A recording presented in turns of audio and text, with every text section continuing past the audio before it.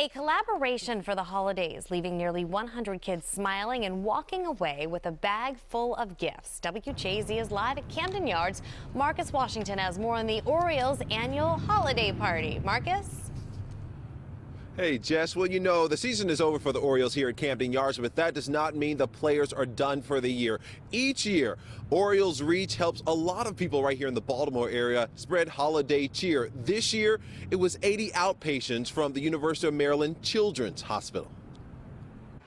They've shown their skills on the diamond, but today some Orioles players had to put on a different game face for their younger competitors. It makes it a little bit easier when you're getting dominated in games by kids that uh, you know are half your age. So um, it's a good time. You know, we enjoy coming out here and, and spending time with these guys. This fun day at Dave and Buster's in Arundel Mills Mall is the setting for the annual Orioles Reach Holiday Party. This year, these 80 kids, outpatients from the University of Maryland Children's Hospital, get to have all the fun. It was just this one game. I, put, I went inside with my friends and it, we tried to kill all the zombies and then it was in 3D, so we was all like, ah, and jumping around and laughing. And the fun didn't stop there. The kids were also able to get a bag full of gifts that included toys, board games, and so much more. This event is also in conjunction with infielder Chris Davis and his wife Jill, partnering with the Children's Hospital, benefiting the neonatal intensive care unit. This is not just, you know, the next few months. This is something for the next few years to come, and that was really what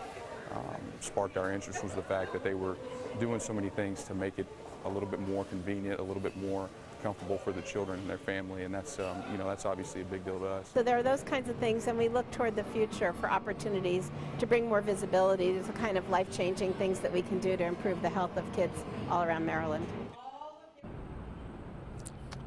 And truly a fun event today for all of those kids that came up to me and said, you know, we had the time of our lives today, and certainly was a good way to kick off the holiday season. Reporting live tonight from Camden Yards, I'm Marcus Washington. Back to you.